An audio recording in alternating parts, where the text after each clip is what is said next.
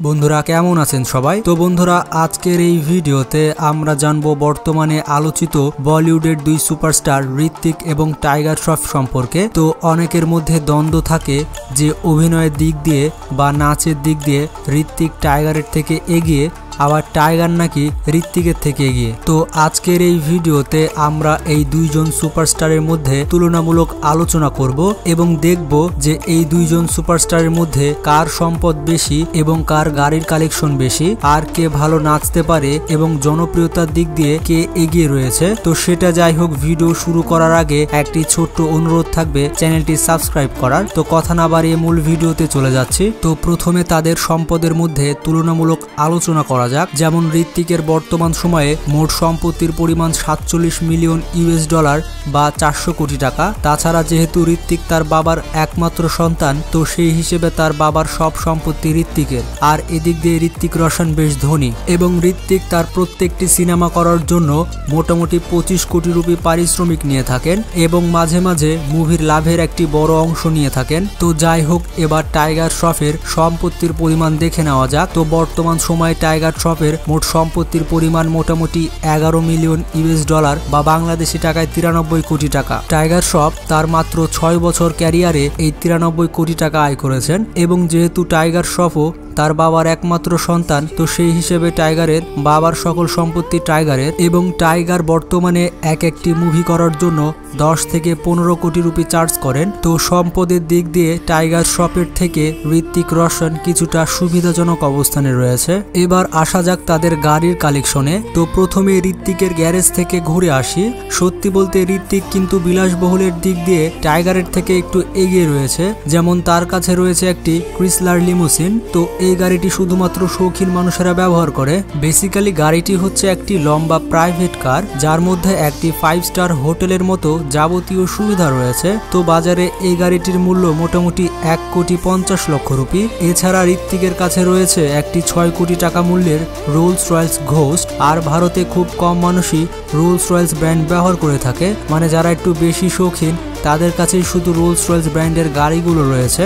যাই হোক, ঋত্বিকের কাছে রয়েছে দুই কোটি রুপি মূল্যের একটি মার্সিটিস মে ব্যাচ। এছাড়া রয়েছে চার কোটি রুপি মূল্যের ইংল্যান্ডের তৈরি অ্যাস্টন মার্টিন এবং এই গাড়িটির সর্বোচ্চ গতি হচ্ছে একশো সত্তর মাইল প্রতি ঘন্টায় রয়েছে দুই কোটি রুপি মূল্যের BMW seven three zero LD এবং ঋত্বিকের সব থেকে কম দামের গাড়িটি হচ্ছে মিনি কুপার। আর এই গাড়িটির মূল্য হচ্ছে চল্লিশ কোটি রুপি। যাই হোক, ঋত্বিকের সবগুলো গাড়ির মূল্য মোটামুটি তেরো কোটি রুপির কাছাকাছি। চলুন এবার দেখে আসি টাইগারের গ্যারেজে কি কি গাড়ি রয়েছে। তো টাইগারের কাছে রয়েছে ষাট লক্ষ রুপির বিএমডাব্লিউ ফাইভ সিরিজ। আর এই গাড়িটি টাইগার সচরাচর ব্যবহার করে থাকেন। এছাড়া তার কাছে রয়েছে মার্সিটিস কোম্পানির দুই কোটি রুপি মূল্যের Mercedes S class three five zero D. এছাড়া তার কাছে রয়েছে সেলিব্রিটিদের জাতীয় গাড়ি অডি কোম্পানির অডি কিউ সেভেন এবং এই গাড়িটির মূল্য মোটামুটি নব্বই লক্ষ রুপি। এছাড়া ঋত্বিকের মতো টাইগারের রয়েছে একটি চল্লিশ লক্ষ রুপি মূল্যের মিনি কুপার। এরপর টাইগার শপের সব থেকে কম দামি গাড়ি হচ্ছে হোন্ডা সিটি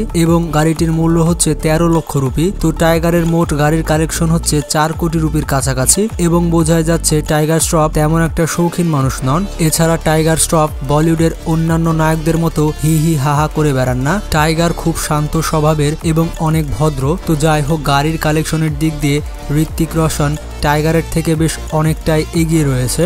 যাই হোক, টাইগার বর্তমানে বসবাস করছেন মুম্বাইয়ের নাম করা ভাস্তু বান্দ্রা নামের এই বিল্ডিং এ এছাড়া টাইগারের বাবা জ্যাকি সর্পের একটি বিশাল বড় ফার্ম হাউস রয়েছে। এছাড়া টাইগার সব খুবই বিজনেস মাইন্ডেড। তার রয়েছে প্রল নামের একটি গার্মেন্টস এর ব্র্যান্ড। মানে বলতে গেলে তিনি সিনেমা করার পাশাপাশি বিভিন্ন ব্যবসাও করে থাকেন। তো এবার অন্যদিকে ঋত্বিক বর্তমানে বসবাস করছেন জুহু মুম্বাইয়ের একটি বিল্ডিং এর বিশাল অ্যাপার্টমেন্টে। আর মজার ব্যাপারটি হচ্ছে ঋত্বিকের বাড়ির পাশে রয়েছে অক্ষয় কুমারের বাসা। তো যাই হোক, এবার আসি যে ঋত্বিক এবং টাইগার এদের দুজনের মধ্যে কে ভালো ডান্স করতে পারেন। তো নাচের বিষয়ে প্রশ্ন আসলে ঋত্বিকের মধ্যে রয়েছে এক ধরনের নাচের ট্যালেন্ট আর অন্যদিকে টাইগারের মধ্যে রয়েছে অন্য ধরনের নাচের ট্যালেন্ট। বেসিক্যালি ঋত্বিক টাইগারের থেকে অনেক আগে বলিউড ইন্ডাস্ট্রিতে এসেছে, তো সেই হিসেবে ঋত্বিক নাচের দিক দিয়ে বলিউডে প্রথম সবার নজর কাড়ে। মানে বলিউডের নায়করা তেমন আগে নাচের প্রতি গুরুত্ব দিত না।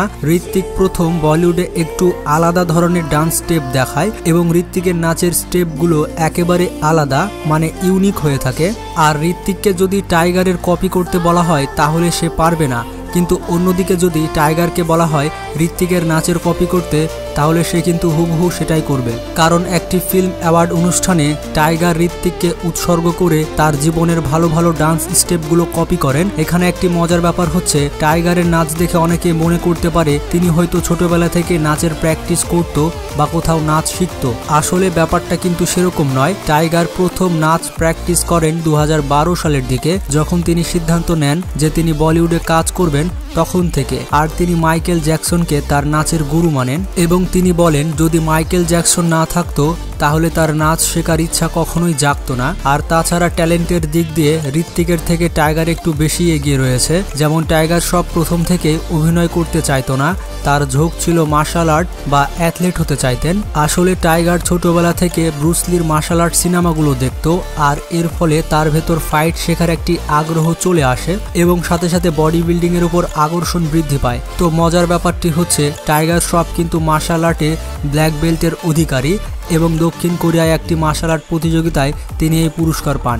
আর এজন্যই টাইগারের সিনেমাতে আপনি একটু বেশি মার্শাল আর্ট টাইপের অ্যাকশনের স্বাদ পাবেন। আর মজার ব্যাপারটি হচ্ছে, টাইগার শ্রফ কিন্তু তার নিজের অ্যাকশন নিজেই করে থাকে। মানে তার সিনেমায় কোনো আলাদা করে স্টান মাস্টার লাগে না। এবং টাইগার বাস্তবে অনেক ট্যালেন্টেড। যেমন বলিউডে কোনো নায়ক টাইগারকে মার্শাল আর্ট বা ভার উত্তোলন প্রতিযোগিতায় হারাতে পারবে না। তো যাই হোক, এখানে লক্ষণীয় বিষয় হচ্ছে ঋত্বিক কিন্তু বলিউড ইন্ডাস্ট্রিতে তার এত সুন্দর বডি নিয়ে আসেনি। ঋত্বিক যখন প্রথম ইন্ডাস্ট্রিতে আসেন তখন তার শরীর কিন্তু ছিল শুটকা পরে যখন দেখল, বলিউডের নায়করা একটু বেশি বডি বিল্ডার হয়ে গিয়েছে, বা বডি বিল্ডিং না করলে মার্কেটে টিকে থাকা যাবে না, তারপর থেকে ঋত্বিক তার বডি বিল্ডিং করা শুরু করেন। আর অন্যদিকে, টাইগার শ্রফ তার প্রথম সিনেমা হিরোপান্তি মুভিতে একটি সুন্দর বডি নিয়ে কাজ শুরু করেন মানে টাইগার অনেক পরিশ্রমী, তিনি তার বডি পারফেক্ট করেই মুভিতে কাজ করা শুরু করেছেন। এছাড়া ঋত্বিকও কিন্তু কম পরিশ্রমী নন। সম্প্রতি ওয়ার মুভি করার আগে ঋত্বিকের বডি পুরো ফুলে ফেপে উঠেছিল, এবং সেই মুভির ডিরেক্টর ঋত্বিককে খুব কম সময় দিয়েছিল তার বডি ফিট করার জন্য। আর এর ফলে ঋত্বিক মাজায় গামছা বেঁধে নামে তার বডি ঠিক করার জন্য। আর মাত্র কয়েক মাসের মধ্যে তার ওয়ার মুভির কাবির ক্যারেক্টারের জন্য ফিট হয়ে যান। তো যাই হোক বডি বিল্ডিং নাচ কিংবা পরিশ্রমের দিক দিয়ে টাইগার এবং ঋত্বিক দুজনের সমান সমান। কিন্তু বাস্তব জীবনের ট্যালেন্টের দিক দিয়ে টাইগার সব কিছুটা এগিয়ে রয়েছে। তো যাই হোক, এবার তাদের পার্সোনাল লাইফ সম্পর্কে কিছু তথ্য জেনে আসা যাক। যেমন ঋত্বিক রোশনের সম্পূর্ণ নাম হচ্ছে ঋত্বিক রাকেশ রোশন এবং ডাকনাম হচ্ছে ডুগ্গু এবং তিনি জন্মগ্রহণ করেছিলেন উনিশশো চুয়াত্তর সালে মুম্বাইয়ে। তো সেই হিসেবে তার বর্তমান বয়স হচ্ছে ছেচল্লিশ বছর এবং ঋত্বিকের বাবার নাম হচ্ছে রাকেশ রোশন আর তিনি কিন্তু বলিউডের একজন বড় ডিরেক্টর। তার পরিচালিত কিছু বিখ্যাত মুভি হচ্ছে কারান অর্জুন ক্রিস কই মিল গায়া এবং ঋত্বিকের মায়ের নাম হচ্ছে পিঙ্কি রোশন এছাড়া ঋত্বিকের একমাত্র বড় বোনের নাম হচ্ছে সুনাইনা রোশন তো ঋত্বিকি রোশনের স্ত্রীর নাম হচ্ছে সুজান খান এবং তিনি বিয়ে করেন মোটামুটি দু সালের দিকে এবং ঋত্বিকের ঘরে দুটি সন্তান রয়েছে। তো প্রথম ছেলেটির নাম হচ্ছে রিহান রসান এবং দ্বিতীয় ছেলেটির নাম হচ্ছে রিদান রসান তো ঋত্বিকের লাভ লাইফ নিয়ে অনেক কাহিনী রয়েছে, তো সেগুলো আর বললাম না।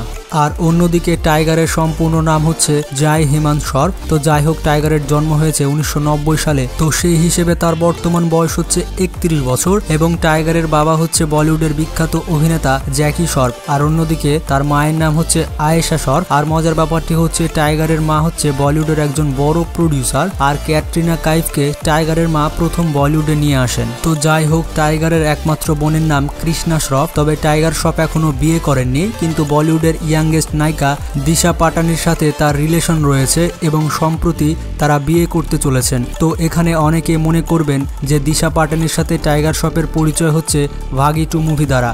কিন্তু আসলে তা নয়, দিশা পাটানির সাথে টাইগার শপের অনেক আগে থেকেই সম্পর্ক রয়েছে। তো যাই হোক, এখানে টাইগার এবং ঋত্বিকের সম্পর্কে অনেক কিছুই জানলাম। এখানে অনেকে ঋত্বিককে পছন্দ করবেন, আবার অনেকেই টাইগারকে পছন্দ করবেন। কিন্তু আসলে ঋত্বিক বলিউডে তার আলাদা জায়গা করে নিয়েছে। আর ঋত্বিকের ফ্যান ফলোয়ার কিন্তু বেশ বড়। এছাড়া ঋত্বিক রোশন হচ্ছে এশিয়ার সব থেকে হ্যান্ডসাম পুরুষ। আর ফ্রি ফায়ারে কিন্তু ঋত্বিকের নামে একটি ক্যারেক্টার রয়েছে। আর ঋত্বিক বলিউডে অনেক আগে থেকেই কাজ করছে, প্রায় দু হাজার সালের আগে থেকে। মানে যখন টাইগার শ্রফ একটা বাচ্চা ছেলে। আর মজার ব্যাপারটি হচ্ছে, টাইগার বলিউডে কাজ করছে দু হাজার চোদ্দ সাল থেকে, আর এত কম সময়ে টাইগার বিপুল পরিমাণে জনপ্রিয়তা অর্জন করেছে। তবে যেহেতু টাইগারের ক্যারিয়ার এখনও অনেক লম্বা, তাই আমার মতে টাইগার কিন্তু আরেকটু পরিশ্রম করলে ঋত্বিকের থেকেও বেশি জনপ্রিয়তা অর্জন করলেও করতে পারে। তো কমেন্ট বক্সে কিন্তু অবশ্যই জানাবেন ওভারঅল কাকে আপনার ভালো লেগেছে এবং আপনি কোন সুপারস্টারের ফ্যান। আর ছোট্ট একটি রিকোয়েস্ট থাকবে, ভিডিওটি স্কিপ করার আগে চ্যানেলটি অবশ্যই সাবস্ক্রাইব করে যাবেন। তো ভিডিওটি এখানেই শেষ করছি, সবাই ভালো থাকবেন, সুস্থ থাকবেন, আল্লাহ হাফেজ।